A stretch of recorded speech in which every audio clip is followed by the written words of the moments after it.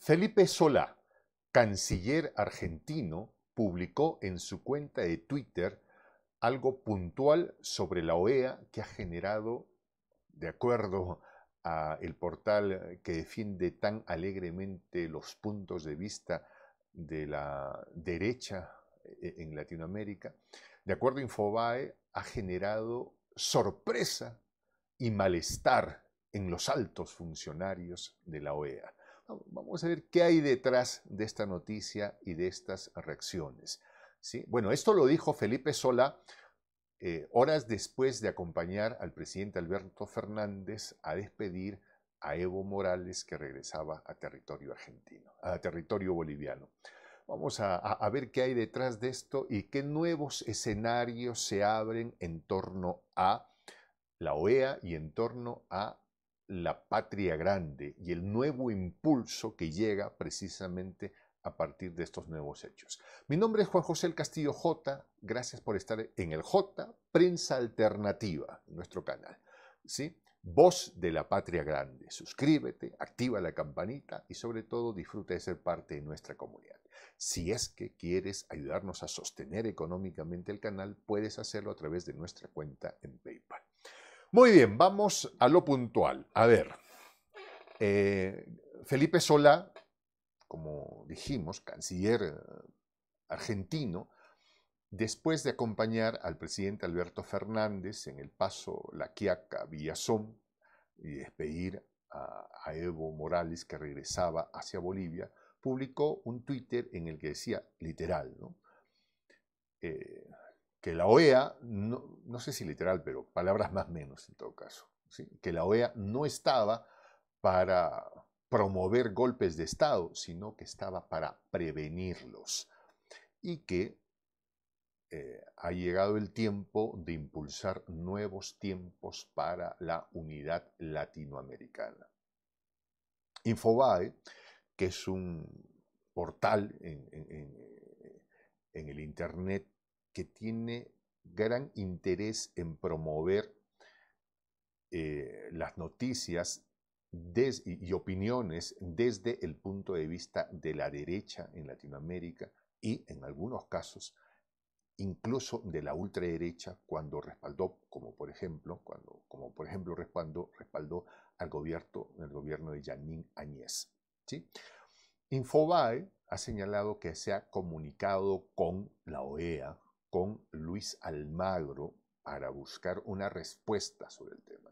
Y que por el momento la OEA no quiere decir nada, que quiere permanecer en silencio, pero señala Infobae off the record, o sea, en un comentario no oficial, o sea, que, no ha sido grabado, ha eh, señalado que altos funcionarios, entiéndase Luis Almagro y los secuaces que le acompañan están sorprendidos ¿sí?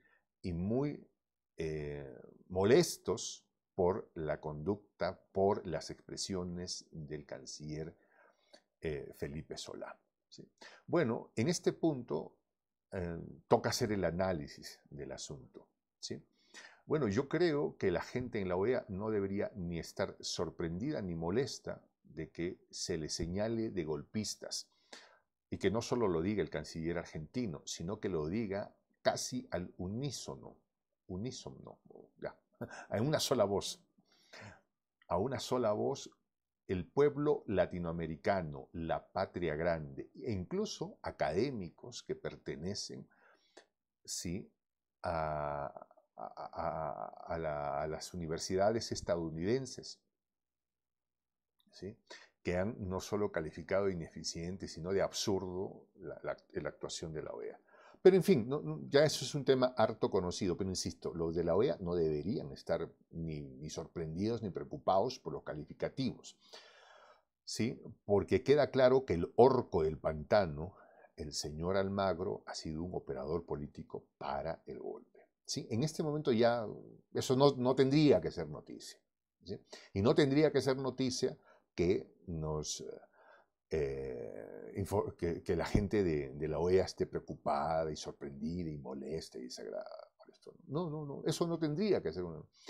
Lo interesante es la evolución del pensamiento de muchos ciudadanos en la patria grande, y no solo de ciudadanos, sino de diplomáticos, que con el devenir de los eventos en los últimos 12 meses han ido cambiando, migrando posición y están incorporándose a un sentimiento de pertenencia a la patria grande, como es el caso del canciller Felipe Solá, quien hasta hace poco eh, había tenido em, expresiones no muy afortunadas respecto a la situación de Venezuela.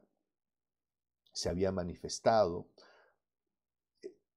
congruente o armonizado con el informe de la señora Bachelet respecto a los derechos humanos en Venezuela y había tenido cierta distancia con el gobierno de Caracas. ¿sí?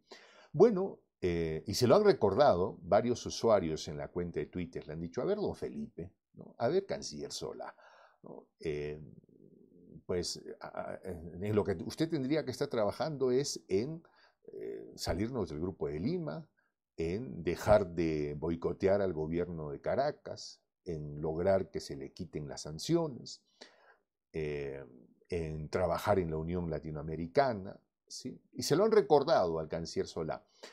Y claro, eh, creo que con todo derecho lo tienen que hacer los ciudadanos y sobre todo los argentinos. ¿sí? Pero voy a decir algo a favor de Felipe Sola, a quien no conozco y no tengo ninguna vinculación con la diplomacia argentina de manera directa, más allá de, las noticias que yo pueda leer de, la, diplomacia argentina. Y, voy a abogar en todo caso por Felipe Solano. En todo caso se trata de una saludable variación de la posición de este canciller que va identificándose con los nuevos tiempos. Y eso es bueno, porque ya es una tendencia que comienza a resurgir en Latinoamérica. Parecía que los años 2000 habían quedado atrás con Lugo, con los Kirchner, con Lula, con Evo, con Chávez, ¿no? Parecía que, y, probablemente, con Pepe Mujica, y, probablemente esté olvidando a alguien ah, por ahí, ¿no? Pero hubo un tiempo en el que parecía que Latinoamérica, que la patria grande, podía ser un proyecto político, un proyecto geopolítico y, y con rumbos a consolidarse, ¿no?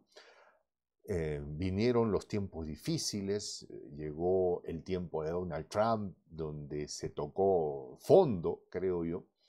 Sin embargo, a partir de lo que hemos vivido en los últimos 12 meses, el golpe de Estado en Bolivia, la pandemia y el surgimiento de una clase de comunicadores a través del YouTube y de las redes sociales que tienen voz sin que nadie les dicte el libreto, han generado un nuevo espacio. Se ha generado una nueva forma de vernos, de reconocernos como Latinoamérica.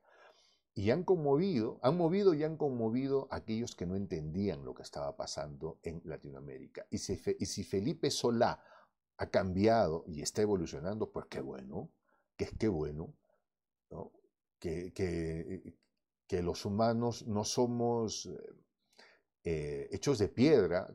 Hay una expresión, solo Dios si los torpes no cambian. hay otra expresión, torpes es otra, ¿no? Pero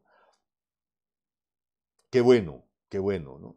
Porque Dios no somos. Y qué bueno que Felipe Solá haya evolucionado en su mirada respecto a la OEA y que ahora sea convocado por los pueblos de la patria grande a ser mucho más congruente con su discurso y con su práctica política respecto a la OEA. Hay algunos que dicen, deberíamos salirnos del grupo de Lima, le piden a Solá, a Felipe Solá, que, Argentina salga del grupo de Lima. Yo creo que no, mi punto de vista. ¿Por qué? porque se trata de dar la pelea dentro, de tener una voz dentro del grupo de Lima, de comenzar a cuestionar, decir, a ver, a ver, a ver, este, eh, para los que van quedando, ¿no? A ver, Piñera, que es el que va quedando, ya no está, ya no está Peña Nieto, ya no está Vizcarra, ahora está Merino, porque igual es un tipo de derecha. ¿no? Pero a los que van ya no está Macri, pero a los que van quedando, a ver, ¿de qué trata esto? ¿De qué va? Ah, tampoco está PPK, ¿no? que fue el impulsor del Grupo de Lima, el gran impulsor del Grupo de Lima. Ya no hay nadie, ¿no? pero se trata de cuestionar al interior del Grupo de Lima para terminar finalmente de darle el puntillazo final, clavar los últimos clavos en la tumba del Grupo de Lima y despedirla. Hay quienes dicen, ¿qué hacemos permaneciendo en la OEA? ¿Deberíamos renunciar? Creo que no que es un espacio donde también hay que dar la lucha, donde hay que encontrarnos para debatir nuestros intereses geopolíticos con las potencias del norte. ¿Sí? Pero también estoy de acuerdo que al margen de la pertenencia a esa organización cada vez más ilegítima, hay que fortalecer la UNASUR, la CELAC y organizaciones propias que corresponden a nuestra propia cosmovisión, a, nuestra propia, a nuestros propios intereses geopolíticos. Pero más allá de eso, ¿saben qué? Ya esto, eh, eh, al margen de la diplomacia y al margen de, de los organismos internacionales, creo que debemos implicarnos en crear en consolidar, en difundir una cultura integracionista de la patria grande, que no tiene que ver con las decisiones de los cancilleres, ni de los diplomáticos, ni de los políticos de turno. No, tiene que ver con el sentimiento del pueblo, que finalmente es, aunque usted no lo crea, a la larga lo que, lo que determina la conducta de nuestros líderes. Muy bien. Malos tiempos para la OEA del perverso orco del pantano. Buenos tiempos para los ciudadanos de buena voluntad que están dispuestos para apostar, que están dispuestos a apostar por la integración de la patria grande. Mi nombre es Juan José El Castillo J. Gracias por estar en el canal El J Prensa Alternativa, Voz de la Patria Grande. Suscríbete, activa la campanita y sobre todo disfruta de ser parte de nuestra comunidad. Me despido con esta expresión en el quechua milenario. Tupananchis. Hasta volver a vernos.